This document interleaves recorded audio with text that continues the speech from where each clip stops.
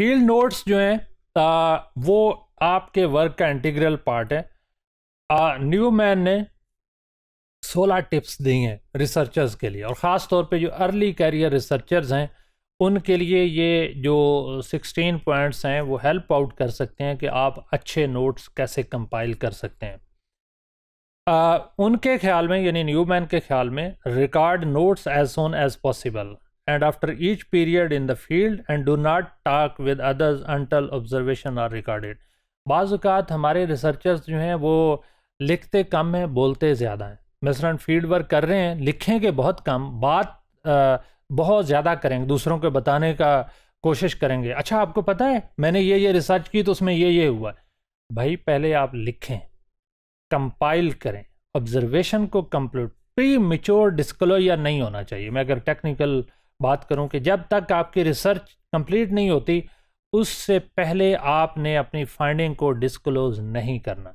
जब तक आपकी ऑब्जर्वेशन कंप्लीट नहीं होती, कभी भी आप उसके ऊपर बात ना करें। हाफ़ कुकड के ऊपर बात ना करें। मैं इसकी एग्जांपल दूँगा कि आप अच्छा खाना आपको बनाना आता है, लेकिन हाफ़ कुकड खाना आप खाएँगे?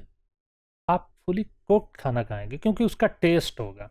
इसी तरह फ़ील्ड वर्क भी जब तक आपका कंप्लीट नहीं होता never share the findings never disclose your observation दूसरा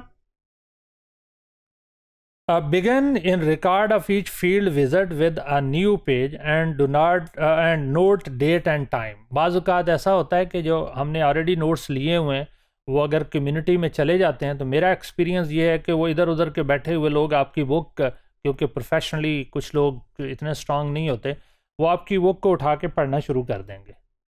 ऐसा कभी भी ना करें। आप नए पेज से शुरू करें जब भी आप जाएँ और पहले वाले को कोशिश करें कि सील करके अपने लॉकअप में रख दें या अपने पर्सनल सूट केस में रख दें। आ, जो जो जोटेड नोट्स हैं जो हम पॉइंट्स लिखते हैं जो उनको जोटेड नोट्स कहते हैं वो आप टेम्परेली हेल्प के लिए हैं. नेवर रिलाई ऑन देम जो ही आपको टाइम मिले, आप कंप्लीट नोट्स करें. की टर्म्स की कॉन्सेप्ट हर चीज़ को कंप्लीट करें. कभी कोई चीज़ हाफ़ कुकड आपने नहीं छोड़नी. फिर फ़ील्ड नोट्स बनाते हुए use wide margin to make it easy to add to the notes at any time go back and add to the notes if you remember बाज़ात हम जो पॉइंट्स बन रहे हैं या घर आके नोट्स बनाते हैं तो ये कह रहा है कि उसके दरमियान में आप स्पेसेस लाजमी छोड़ें कि कोई चीज़ आपको याद आ जाए या कोई चीज़ आप नई ऐड करना चाहते हैं तो वो करते हुए आपको रिलेटिवली आसानी होगी ताकि आप चीज़ें ऐड सर कर सकें। और फिर आपने प्लान करना है कि नोट्स जो हैं वो सेपरेट हों, यानी आपके जो जॉटेड नोट्स हैं वो अलग से पड़े हों और जो आपके डिटेल नोट्स हैं वो अलग से पड़े हों। Number six record events in order which they occurred and not and note how long they listed for example आपने कोई एक इंसिडेंट देखा मेहंदी की रस्म चल रही थी तो क्या uh, वो फुल डे थी आधा दिन थी चार घंटे के लिए थी पाँच घंटे के लिए थी कितने टाइम के लिए थी? वो आपने नोट करना है। Uh, और always make notes as concrete as possible और उनको आपने कोशिश करना है कि जितनी डिटेल में लिख सकें वन गो में लिखें या बार बार कुछ चीज़ें याद आती हैं तो उनको भी आप ऐड अप कर सकते हैं।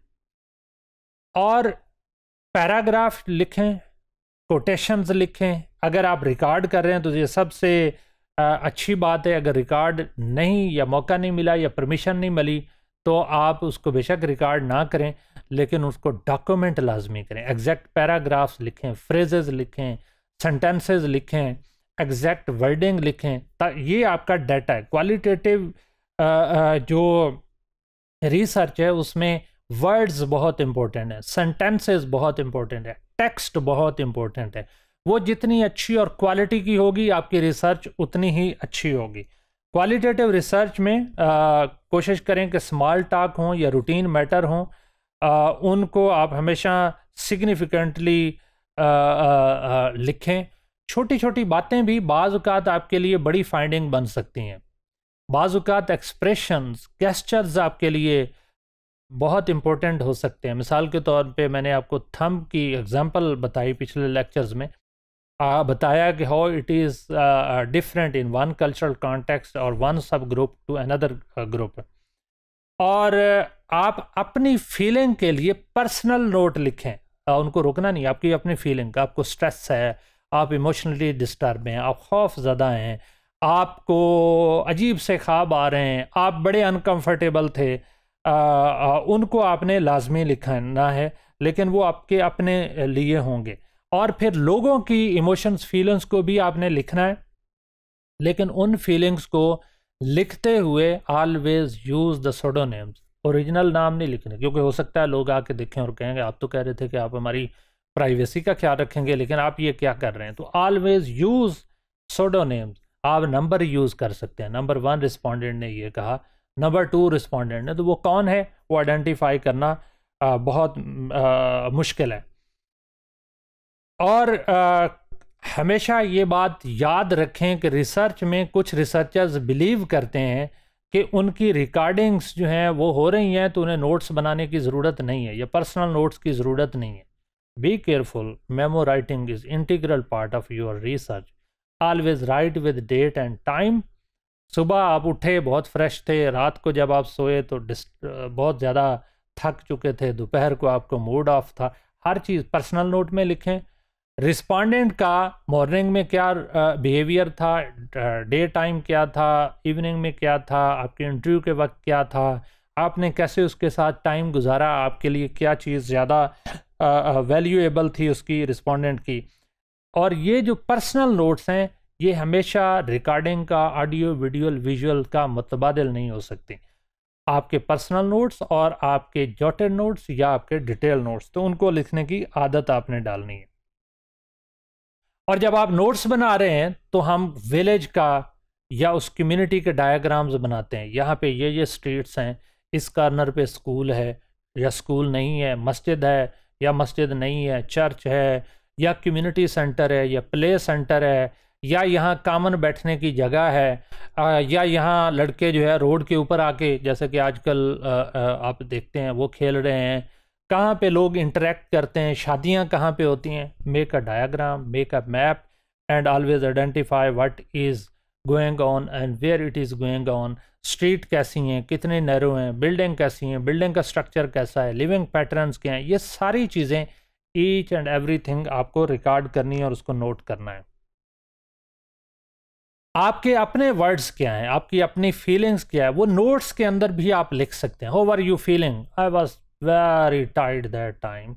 I was very excited that time. Uh, I was emotionless.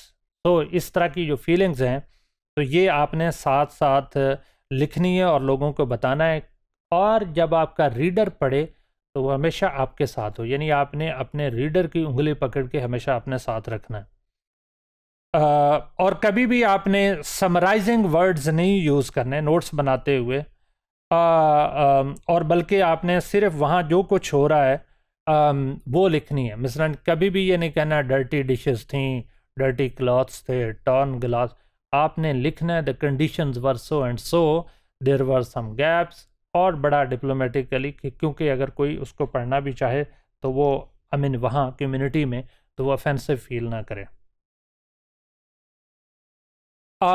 आपने अगर कोई आपको वहाँ पे टेक्स्ट मिले कोई बुक मिले कम्युनिटी के बारे में वो आपने अपने पास रखना है। और पीरियाडिकली आपने अपने नोट्स के अंदर मेंशन करते रहना है कि आप कोई बुक पढ़ रहे थे या कोई मैगज़ीन पढ़ रहे थे उस रात को आपने पढ़ा उसका आपका हुआ। तो जो कुछ भी कम्युनिटी में हो रहा होगा आपने उसको आ, हमेशा अपने जहन में रखना है। और एक और बात जो बड़ी इम्पोर्टेंट है एक रिसर्चर जो कि फ्रेंच खातून थी She spent 10 years in Pakistan. When she was living back to France, जब उसका फ़ील्ड वर्क कंप्लीट हुआ टेन ईयर्स थे या मैं भूल गया हूँ उसका ड्यूरेशन तो आ, उसके पास चूँकि बैकअप कापीज़ नहीं थी कंप्यूटर नहीं थी उसके सिर्फ़ मैनुअल नोट्स थे अनफॉर्चुनेटली वो किसी वजह से शायद चोरी हो गए या ज़ाया हो गए या किसी तरह से मिसप्लेस हो गए तो आपने हमेशा बैकअप रखना है जैसे मैंने आपको लिटरेचर रिव्यू के दौरान बताया कि आपने मल्टीपल बैकअप्स रखने हैं तो फ़ील्ड वर्क करते हुए भी आपने मल्टीपल बैकअप रखने हैं, क्योंकि एक्सल में ये आपके लिए ट्राइयर है। आपने इतना टाइम लगाया रिसोर्स लगाए पर्सनल इमोशन फीनल्स फीलिंग्स से गुजरे स्ट्रेस से गुजरे, और उसके बाद आपकी सारी लेबर ज़ाया हो जाए तो you have to be careful और आपने हमेशा रिकॉर्ड करते हुए बैकअप कापीज़ रखने।